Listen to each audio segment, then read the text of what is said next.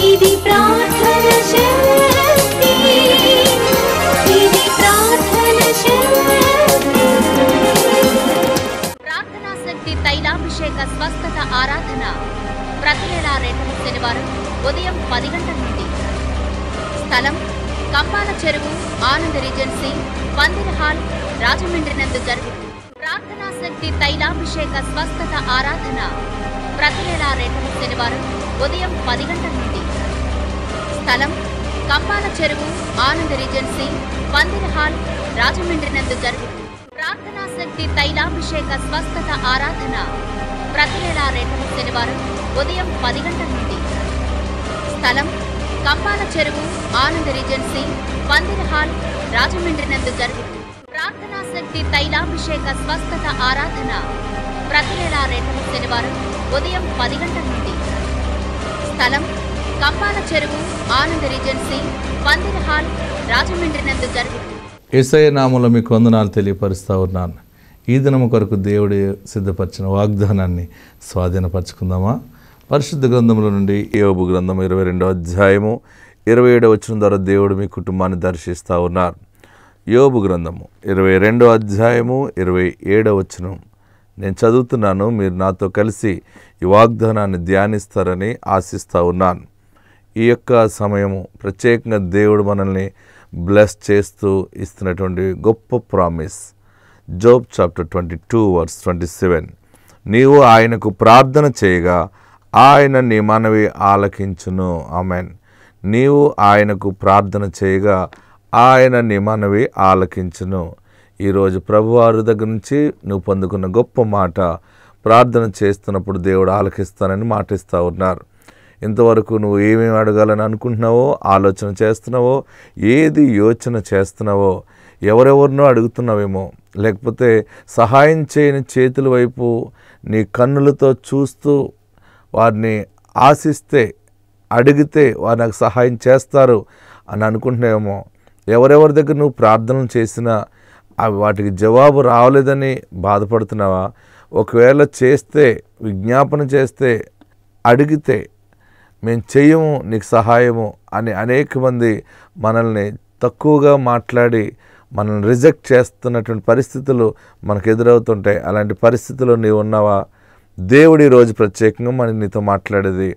కేవలం నీతో ఒక ప్రత్యేకమైన మాట ఆయన చెప్పేది ఏంటంటే నీవు ఆయనకు మనం ఇచ్చేయి ఆయన అనగా పరిశుద్ధాత్ముడైన లోకరక్షకుడు యేసుక్రీస్తుకి నీవు ప్రార్థన చేసినప్పుడు నీ మనవి ఏంటో ఆయన అంగీకరిస్తానని ఈరోజు మాట్లాడుతూ ఉన్నారు.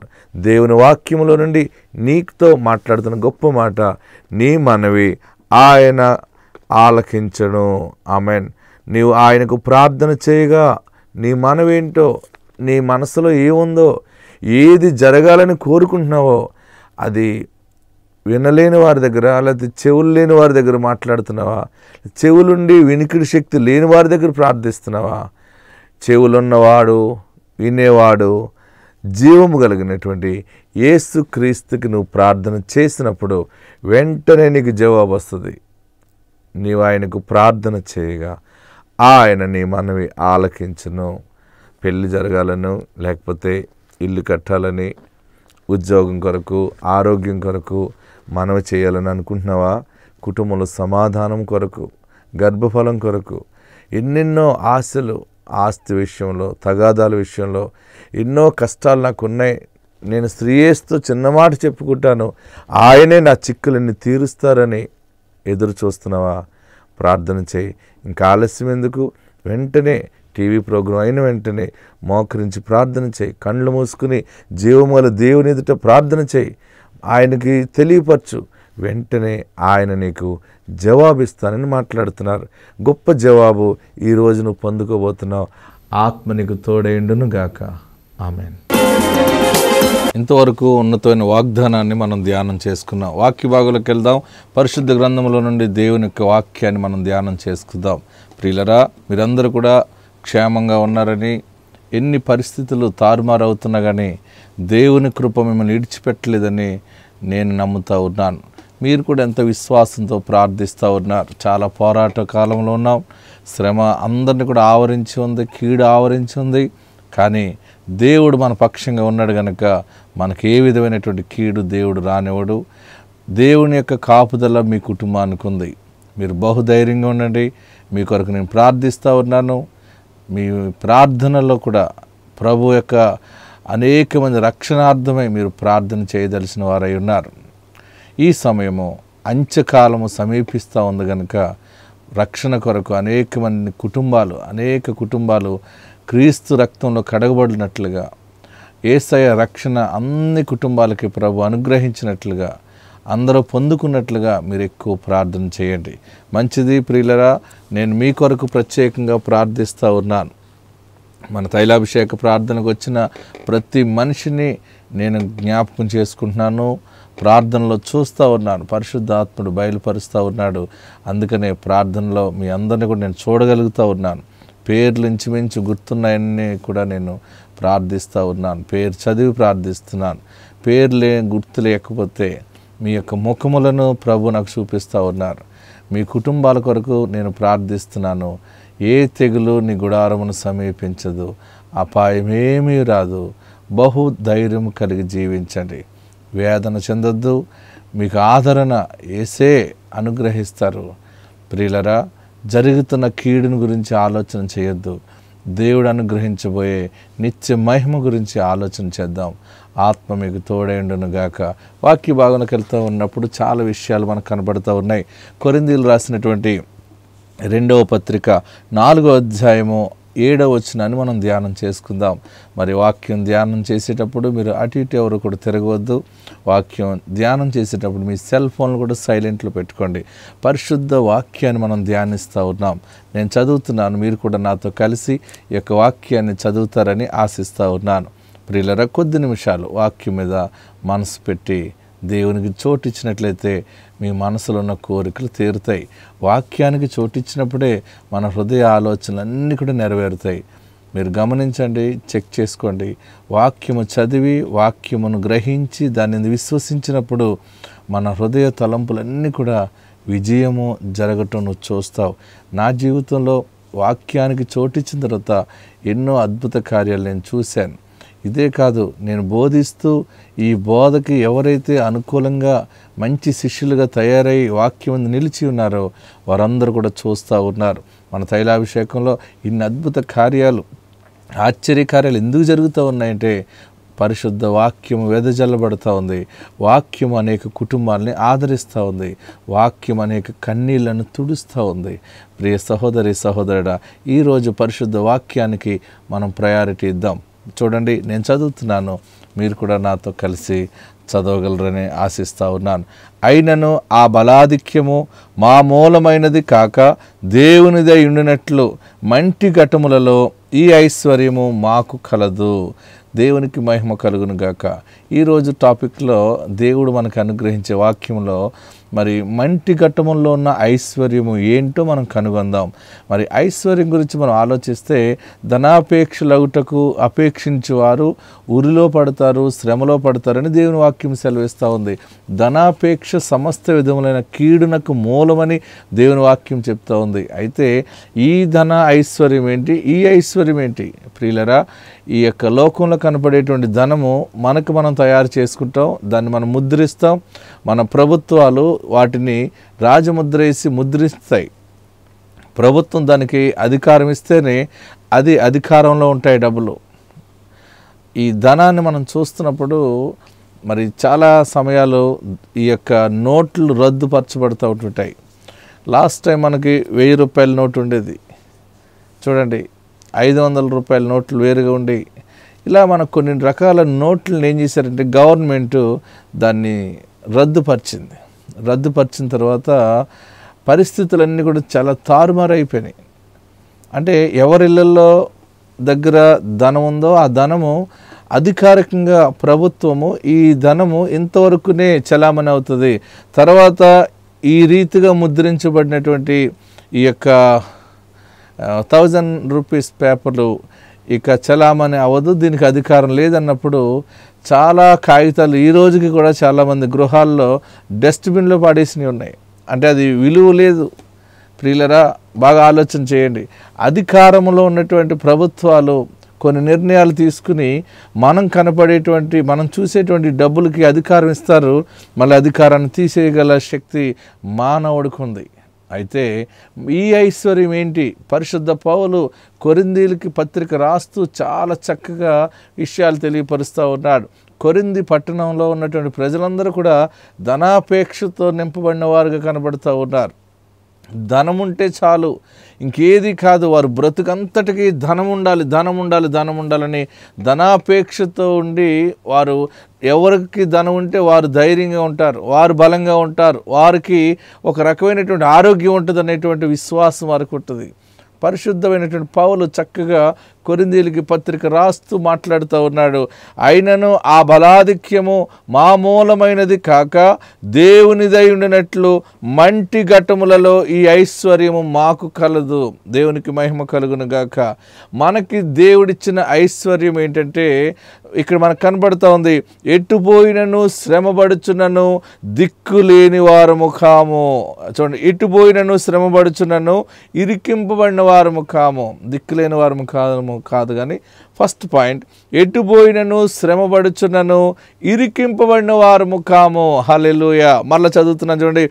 అయినను ఆ బలాధిక్యము. మామూలమైనది కాక దేవునిదై ఉండినట్లు మంటి ఘటములలో ఈ ఐశ్వర్యము మాకు కలదు. ఎటుపోయినను శ్రమపడుచున్నను ఇరికింపబడిన వారము కాము ఐశ్వర్యములో మొట్టమొదటి నోట్ ఏంటంటే మనము ఎక్కడికి వెళ్ళినా ఏ శ్రమలు వచ్చినా ఎన్ని బాధలు వచ్చినా నీవు ఎక్కడ ఇరికింపబడవు. ఈరోజు దేవుడు నీతో మాట్లాడుతూ ఉన్నాడు. ప్రియ సహోదరులరా మంటి ఘట్టములలో మనకున్న ఐశ్వర్యం ఇది. ఇది మన విశ్వాస పరిమాణమును బట్టి పెరుగుతుంది అనమాట నీ చేతిలో ధనమున్నా లేకపోయినా ఆస్తున్నా లేకపోయినా చాలామంది అనుకుంటే కష్టం వస్తే ధనం ఉంటే విడుదల అవుతాం కదా. ధనం అక్కడికి రాదు స్నేహితులు అక్కడికి రారు ఎవరు కూడా నీకు కష్టం వచ్చినప్పుడు ఎవరు అక్కడికి రారు. ఆల్రెడీ అనుభవిస్తూ ఉన్నావు ఎక్స్పీరియన్స్ చేస్తున్నావు దేవుడు నీకు బయలుపరుస్తూ ఉన్నాడు. అయితే మన లోపల ఒక ఐశ్వర్యం ఉన్నది ఈరోజు అంశం ఏంటంటే మంటి ఘట్టములలో ఉన్న ఐశ్వర్యము దేవునికి మహిమ కలుగును గాక. మంటి ఘట్టములలో ఉన్నటువంటి ఐశ్వర్యము చాలా బలమైనది. హల్లెల్లుయ చాలా బలమైనది. ఏ బలమంటిది ఇది మామూలమైనది కాక. ఎలా చెప్తున్నాడండి అయినను ఆ బలాధిక్యము మామూలమైనది కాక దేవుని ఉండినట్లు మంటి ఘటములు ఈ ఐశ్వర్యము మాకు కలదు. హలెలూయ దేవునికి మహిమ కలుగును గాక. మంటి ఘటాలు. ఈ మంటి ఘటంలో ఐశ్వర్యం ఉంది మట్టిలో మాణిక్యం అని మనం మామూలుగా చదువుతుంటాం వింటుంటాం. చాలా రకాల విషయాలు. కానీ నేల మంటితో దేవుడు నరుణ్ణి నిర్మించి ఆయన పోలికలో మానవుణ్ణి తయారు చేసి నాసిక రంధ్రంలో ఆయన జీవవాయువు నోదగా నరుడు జీవాత్మ ఆయనని దేవుని వాక్యం సెలవిస్తూ ఉంది. అంటే సృష్టి ప్రారంభంలో మొట్టమొదటిగా దేవుడు మానవుణ్ణి తయారు చేశాడు మగవాణ్ణి తయారు చేశాడు పురుషుణ్ణి తయారు చేశాడు ఆ మనుషునికి ఆదాం అని పేరు పెట్టాడు యాడామ్ అనేటువంటి నేమ్ అతనికి పెట్టాడు నామకరణం చేశాడు. ఆ మనుషుడిని బొమ్మను చేసాడు ఆ బొమ్మ అంతా కూడా ఆయన పోలికలోనే చేసుకున్నాడు అంటే మానవుడు దేవుని పోలికలో ఉన్నవాడు. చాలామంది అనుకుంటారు మరి స్త్రీ ఎలా వచ్చింది? స్త్రీ లేకుండా పురుషుడు వస్తాడా? పురుషుడిని బట్టి స్త్రీ ఎలా వస్తుంది? స్త్రీని బట్టే కదా పురుషుడు వచ్చేది. ఇలాగ చాలా రకాల మరి జవాబు లేని ప్రశ్నలు చాలా మందిలో ఉండిపోయినాయి. అయితే దేవుని వాక్యము ఆది కాండం నుండి మనం చూస్తూ ఉంటుంటే ఆది అందు దేవుడు మానవుని ఎలా చేసాడో అక్కడ కనబడుతూ ఉంది. నేల మంటితో మరి మనిషిని మానవుని నిర్మించి ఆ బొమ్మను చేసి ఆ బొమ్మలో నాసిక రంధ్రంలో జీవవాయువును ఓదగా నరుడు జీవాత్మాయను ఆ జీవాత్మ ఏం చేసిందంటే మొత్తం సిస్టమ్ అంతా కూడా ఆ జీవముతో నింపబడటానికి దారితీసింది ఆయన జీవం మనలో ఉన్నప్పుడే ఈ బలాధిక్యము మనకు వచ్చింది ఇది క్రీస్తు రక్షణ ద్వారా వచ్చిన బలాధిక్యము. ఈ మాటలు రాస్తున్నటువంటి దైవజనుడు పరిశుద్ధ పౌలు సెంట్ పాల్ చాలా క్లియర్గా ఎక్స్పీరియన్స్తో రాస్తూ ఉన్నాడు. అయినను ఆ బలాధిక్యము మా మూలమైనది కాదు. చాలామందికి శ్రమలు ఉంటాయి కష్టాలు ఉంటాయి బాధలు ఉంటాయి కానీ క్రైస్తవుడికి వచ్చే కష్టాలు బాధల్లో క్రైస్తవుడు మాట్లాడే మాట ఎంత దమ్ము బలం ఉంటుందంటే వినేవారికి విశ్వాసం లేని వారికి ఆందోళన వస్తూ ఉంటుంది. మెంటల్ వచ్చిందా పిచ్చిగా పట్టిందా పరిస్థితులు ఇలా తగలడిపోతూ ఉంటుంటే మనుషులు ఇలా చచ్చిపోతూ ఉంటుంటే ఇలా రోగాలు వచ్చి ఇల్లంతా కూడా నాశనం అయిపోతూ ఉంటుంటే ఏం మాట్లాడుతూ ఉన్నారని చాలామంది మిమ్మల్ని దూషిస్తున్నారా? వేధిస్తున్నారా? దేవుని వాక్యం ఈరోజు నీతో మాట్లాడుతూ ఉన్నది. నీలో ఉన్న బలము అది హోవా బలము. అది యేసు అనుగ్రహించిన జీవ బలము. అందుకే పరిశుద్ధ పౌలు అంటాడు ఈ బలము మామూలమైనది కాక ఈ మంటి ఘట్టములలో దేవుడిచ్చిన ఐశ్వర్యం ఇది. ఏంటి ఐశ్వర్యము? మరి మంటి ఘట్టములలో ఉన్న ఐశ్వర్యం ఏంటంటే నోట్ చేసుకోండి. ఎటు పోయినను శ్రమ పడుచున్నను ఇరికింపబడిన వారము కాము ఫస్ట్ ఐశ్వర్యము మొట్టమొదటి ఐశ్వర్యము. ఎటు పోయినా ఏ రోగము నీకు అంటుకోదు ఎటు పోయినను ఒకవేళ శ్రమ పడుచున్నను ఎవరిని మోసం చేశారా? ఎవరైనా నీ ఆస్తిని దొంగిలించారా? నీ బంగారాన్ని దొంగిలించారా? నీ కష్టార్జితాన్ని దొంగిలించారని ఏడుస్తున్నావా? నాకు న్యాయం జరగట్లేదు. నాకు న్యాయం ఎవరు చేస్తారు? న్యాయం ఎప్పుడు జరుగుతుంది? నేనేం తప్పు చేశాను? ఏం పాపం చేశాను? ఇంత శ్రమ అనుభవిస్తున్నాను నేనేం పాపం చేశాను? నాకు బలహీనత వచ్చింది. ఏ పాపం చేసినందుకు రోగం వచ్చింది? నేను ఎవరికి అన్యాయం చేయలేదు. ఎవరికి నేను అన్యాయం చేయలేదు. ఎవరిది నేను తీసుకోలేదు. నాకు తోచినంత సహాయం చేశాను. దేవుని స్తుతించాను. పాటలు పాడాను. నాకెందుకు ఇంత బలమైనటువంటి శిక్ష నా మీద పడింది? నేను ఇంకేమైపోతాను? ఏమైపోతాను? నా కుటుంబం ఏమైపోతుందో అని ఏడుస్తున్నావా? నీలో ఉన్న ఐశ్వర్యము గొప్పది. దేవుడు నీకు బలమైనటువంటి వాగ్దానాన్ని ఇచ్చి ఉన్నాడు. అదేంటంటే ఎటు పోయినను శ్రమ పడుచునను ఇరికింపబడిన వారము కాము. ఎక్కడో చోట ఇరుక్కుపోవు నువ్వు. ఎక్కడో చోట ఇరుక్కుపోయి అందరి ముందు అవమానపరచబడే స్థితి దేవుడు నీకు ఇవ్వడు. ఏసు నీకు తోడై ఉన్నాడు.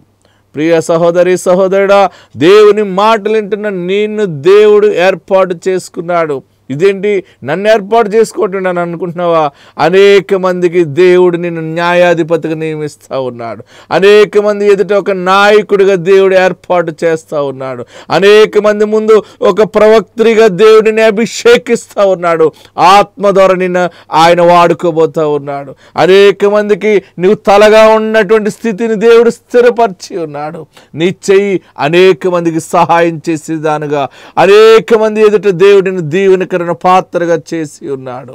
నేనే శ్రమలో ఉన్నాను. నేనే బాధలో ఉన్నాను. నేనే దుఃఖంలో ఉన్నాను. నేనెవరు ఏం చేయగలను అనుకుంటున్నావా? మంటి ఘట్టంలో ఉన్న మొట్టమొదటి ఐశ్వర్యము. ఎటు పోయినను శ్రమ పడుచున్నను ఇరికింపబడిన వారము కాము. దేవునికి మహిమ కలుగును గాక. ఎక్కడ నీ బిడ్డ కానీ నీ యొక్క భర్త కానీ నీ కుటుంబంలో నీ సంబంధించిన రక్త సంబంధాలు నీ కుటుంబానికి దేవుడు తోడుగా ఉన్నాడు కనుక ఎన్ని శ్రమలు వచ్చినా ఎన్ని రకాల రోగాలు వచ్చినా ఎన్ని వేదనలు వచ్చినా ఎన్ని ఆర్థిక పరిస్థితులు మీ కుటుంబాన్ని గలిబిలి చేసిన అవమానం మీ మీద ఏలుబడి చేసిన పరిశుద్ధాత్మ దేవుడు నీతో మాట్లాడుతూ ఉన్నాడు. ఎక్కడ ఇరికింపబడవు? ఈ నిర్ణయం తీసుకుంటున్నావు ఏమైనా అయిపోతామేమో లేదా ఈ సంబంధానికి వెళ్తున్నావు ఏమైనా తేడా వస్తుందేమో? ఇది జరుగుతుందేమో అది జరుగుతుందేమో అని కీడు యోచన చేయొద్దు. ఈరోజు ప్రభు నీతో మాట్లాడుతున్నాడు. ఆయన ఎముకలను బలపరుస్తున్నాడు. ఆయన నీ శరీరాన్ని బలపరుస్తున్నాడు. పరిశుద్ధాత్ముడు నేను తాకి ఉన్నాడు. ఏదో రోగం ఉందని ఎందుకు భయపడుతూ ఉన్నావు? ఆయన నీకు మంచి కాపరిగా ఉన్నాడు. మంచి కాపరి గొర్రెల కొరకు ఎలాగా ఆయన త్యాగం చేస్తాడో గొర్రెలకు ముందుగా వెళ్ళేటువంటి కాపరి గొర్రెల కాపరి ముందెళ్తాడు. పశువుల కాపరి వెనకాల ఉంటాడు. గొర్రెల కాపరి ముందెళ్తా ఉన్నాడు. ఆ కాపరిని వెంబడిస్తూ ఉన్నాయి గొర్రెలు. మరి ఏసుని వెంబడిస్తున్నావా? ఏసు వైపు నువ్వు చూస్తున్నావా? ఏసునందు విశ్వాసం ఉంచి ఉన్నావా?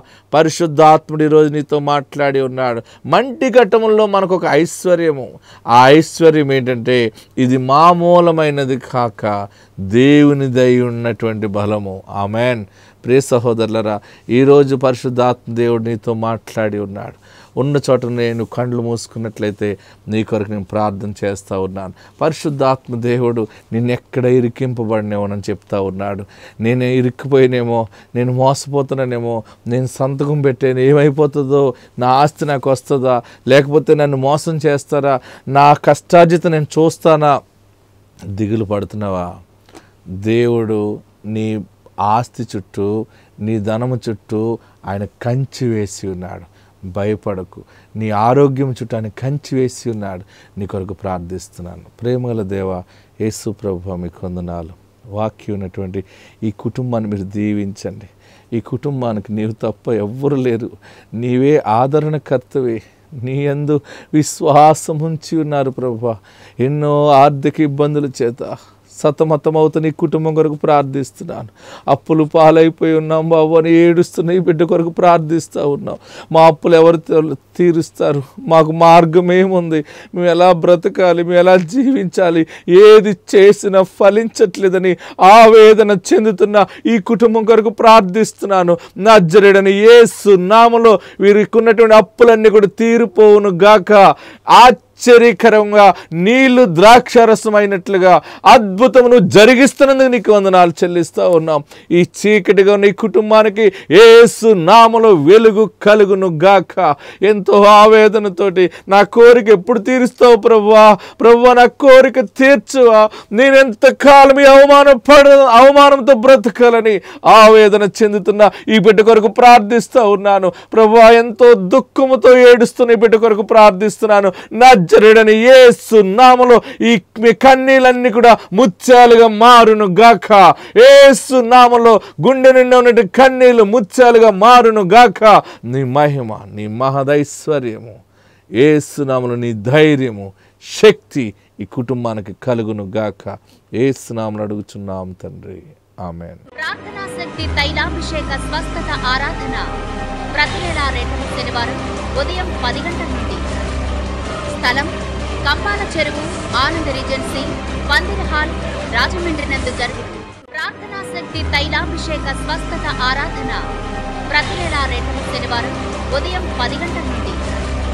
స్థలం కంపాల చెరువు ఆనంద్ రీజెన్సీ పందిర హాల్ రాజమండ్రి నందు జరుగుతుంది. అంటే మాకు ఇల్లు వాకిలి అసలు ఏమీ లేదు.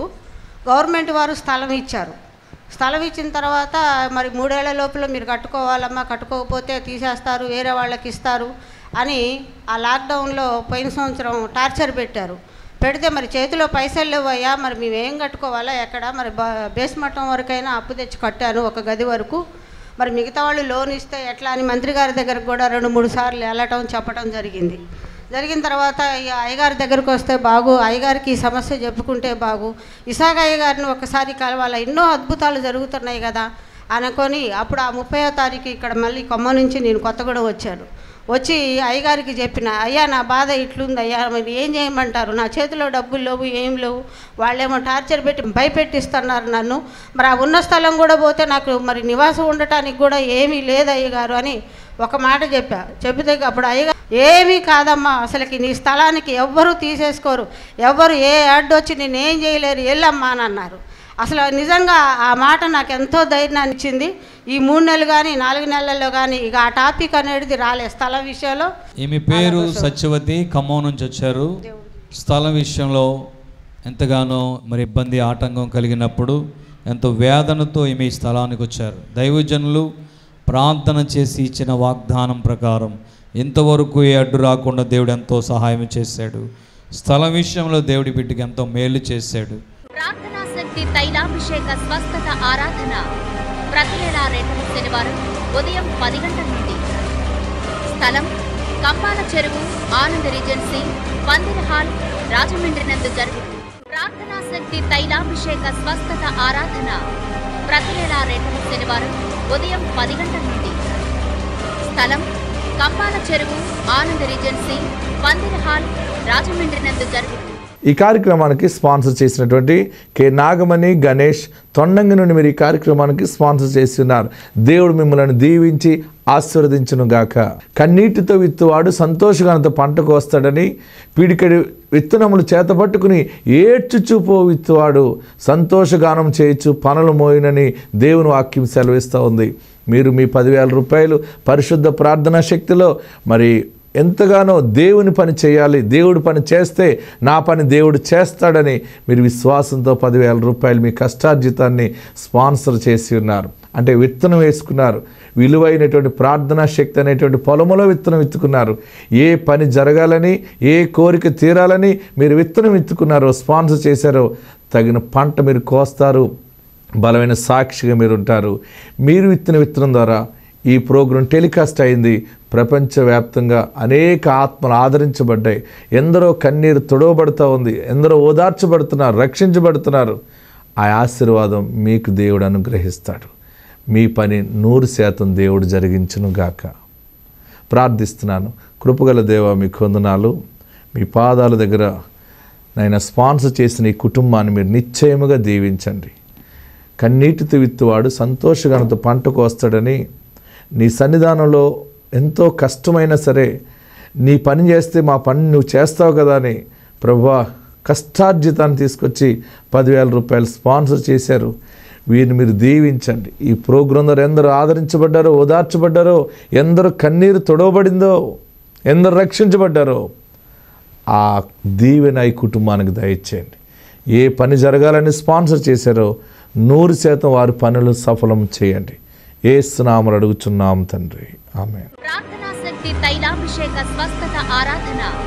ప్రతి నెల రెండవ శనివారం ఉదయం పది గంటల నుండి. స్థలం కంపాల చెరువు ఆనంద్ రీజెన్సీ పందిర హాల్ రాజమండ్రి నందు జరుగుతుంది.